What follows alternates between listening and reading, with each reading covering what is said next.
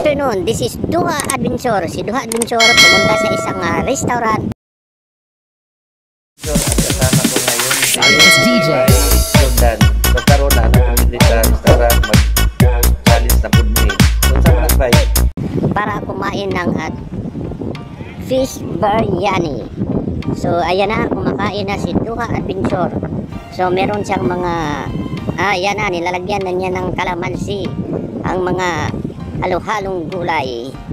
Ayan na, hinaharap na ni Duha Adventure. At saka yung meron silang sausawan na parang kari, anghang siya. At saka meron pang isa, ano yan, Ayan na, ang daming pagkain dito adventure at saka yung ah, isda, fish biryani. So, kumain na, nag-upisa na si Duha Adventure kumakain at biryani at saka yung fish at saka mayroong french fries. So, busy-busy si Duha habang kumakain. Dandahan lang duha adventure kasi kukunti lang ang customer. So matanong lang kita duha adventure saan ba yan? Saan ka kumain ng fish biryani? Masarap ba yan? Magkano ba ang presyo duha adventure?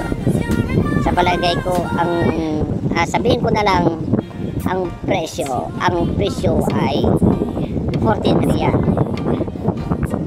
Meron siyang isang pirasong isda at saka unlimited biryani. So, sa mga nandito sa gitnang silangan or Middle East, alam nila kung ano yung biryani. Iwan ko lang sa Pinas kung alam nila. So, tuloy lang, duha adventure.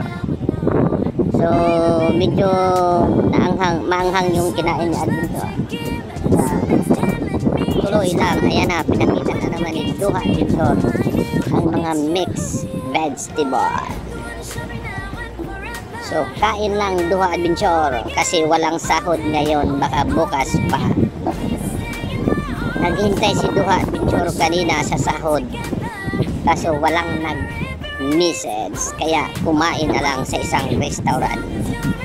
At maya-maya na uwi si Duha Adventure masarap ang lasa ng fish biryani. So, kain lang kasi gutom si Duha Adventure.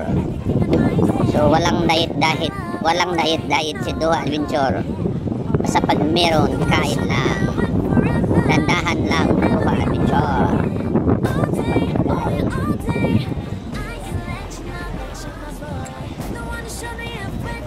So, again, uh, paki-subscribe ang aking channel. Please comment, like, and share. At uh, sana panoorin nyo yung video ko. Huwag nyo i-skip ang ads para tulong nyo yan kay Duha Adventure. So, mag-shout out muna tayo sa ating mga kaibigan na mga nagsusupport sa ating pwede. Unang-una sa ating kaibigan na si Jordan Tayong na kasama ko nung nakaraan na nagmumukbang kumain kami ng kubos at parata. Shout out sa iyo, bye. Sa isang kaibigan natin na si Jose Forsado Official, shout out sa iyo, bye. Tuloy ang laban sa pangingisda mo. At sa ating mga tropa, tropang Libor City ay sino pa ba si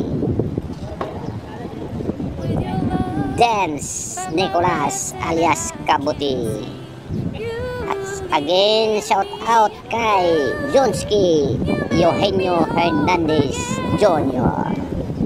at sa isang kaibigan natin na may vlog din na si Mr. Suabi Boy Talong dandahan lang duha adventure sa pagkain kasi mahaba pang oras.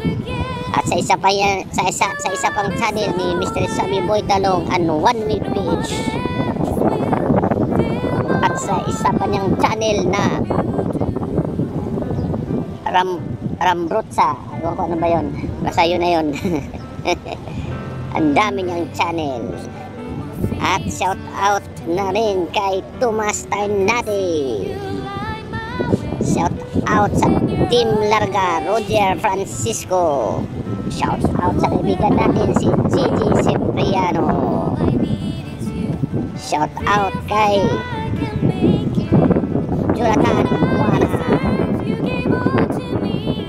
Shout out din sa Pipay's Choice. Shout out sa Mabuhay Vlog. Shout out sa Jamik Kitchen. At shout out kay bagong nag-subscribe sa akin si Subyor. Joseph Subyor TV. Shout out sa bye. Shout out EERTOS TV. Shout out sa iyo, boss. Sino pang shout out ang kay Simbu, Simbuhan, Simbulan, Punway TV. At shout out kay Bishop Vlog. Shout out sa Balmasida family.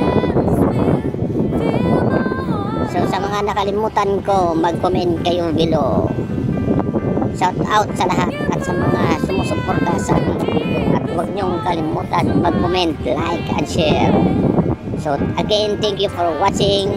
Habang kumakain, patuloy na kumakain si Duha Adventure. So maraming salamat po sa inyong lahat. Have a nice day. Good afternoon. Thank you.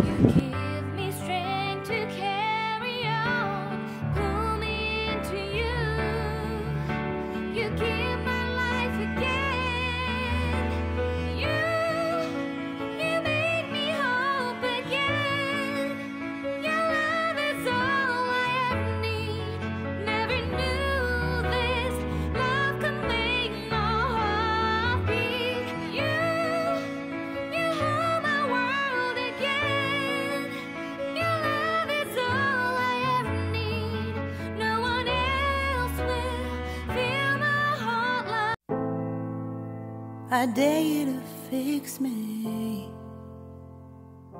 I'm crossing the line again, falling on my knees. No stranger to pain, it's never ending, it's only.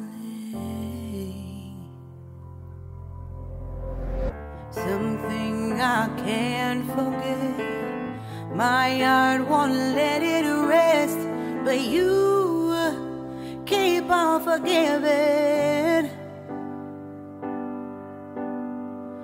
Admit that I'm afraid. If I let go of this pain, am I completely betrayed? There's no air I'm drowning. Vultures are circling me. Around it, I need to fight. I know it's just so hard to let it go. Shine a light I can see. Something I can't forget. But you keep on forgiving.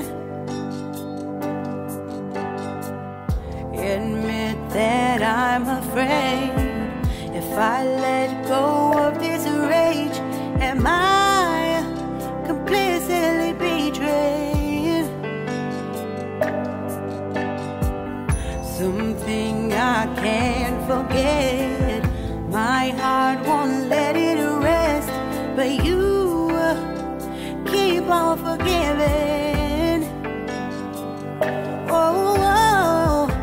admit that I'm afraid. If I let go of this rage, am I completely betrayed? My heart, my love, my life,